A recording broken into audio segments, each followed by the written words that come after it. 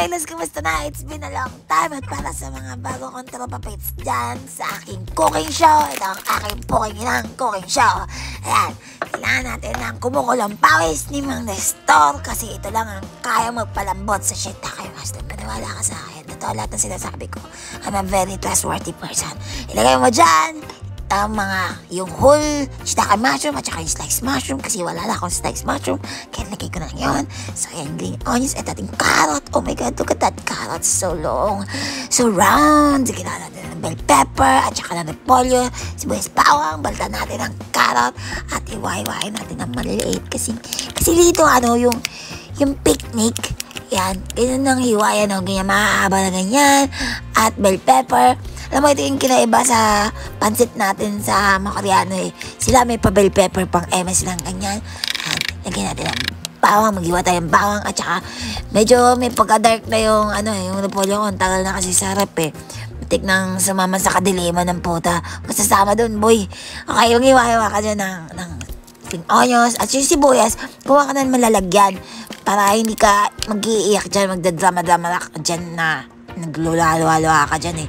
O, so, ayan yung pinakuluan ko ng, yan yung pinakuluan ko chicken, hinimay-himay ko na. At ito yung, yung pa, ano, yan yung gagayahin na, putang ina, yan ganyan, no? Yan gagayahin natin, tang ina man yung mali sa atin yan, kaya natin yan, kaya natin, nakakain na kain, so, lang ba? So, parang walis ting-ting yung, yung ano, no, yung, yung glass noodles. Pag hindi, pagka, ano, matigas pa. Mm. Ayan, kailangan natin gisahin yung bawang, sibuyas, alam mo, naisip ko sana ginawa ko na lang fried bawang. Kasi yung fried bawang, yun yung malasa eh. Kaysa sa ganyan lang na hindi masyadong crispy. Nandun, mas malasa siya. Maniwala ka sa akin. Sinabi ko sa'yo, I'm a trustworthy person, di ba? So, ito yung pinakuluan natin. Yan yung tubig, yan yung tubig na mula sa pakulo ng chicken. Tama mo yung pagkakasabi ko. Basta yun. Yun na yun. Siyempre malasa yan, ano, yung pakulo na yan. Siyempre lalagdagan pa natin ng pampalasa yung ano, nor cube chicken, toyo mula sa ulo ng jowa mo. Pagdod naman toyo, yan may ipon mo. Tipid din eh, no? Sesame oil. So, wala nang oil. Nag-check ako, wala nang oil si Ma'am Bird. Yung mineral oil ni Ma'am Bird. Ang sarap-sarap pa naman nun. Inapiyak masarap na oil sa buong mundo. Yung oil ni Ma'am Bird. Pero wala na ataw stock na kasi mabenta talaga siya bakla. So, nilagay ko na lahat ng mga pilagay. Wala yung may, may na chicken. Yung, lagyan natin ng asin. Lagyan natin ng yung pinakuluan na, na, na shiitake mushroom. Yan.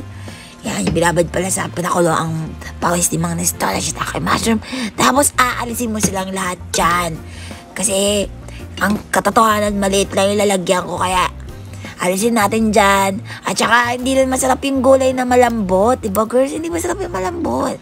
Kailangan malutoong. Ayan, matigas, diba? Ayan, blanch lang. Iba-blanch mo lang yung gulay. Blanch, diba, social. So, ito na nga pala yung walis ting-ting. At ayan na. Kasi yung itim na ng singit ni Mang Lando, kinang ina nun. Yan, lagyan mo pa ng toyo. Kasi marami tayong supply ng toyo. So, bandami. So, lagyan natin konting honey. Kaya syempre pa sweet, ganyan.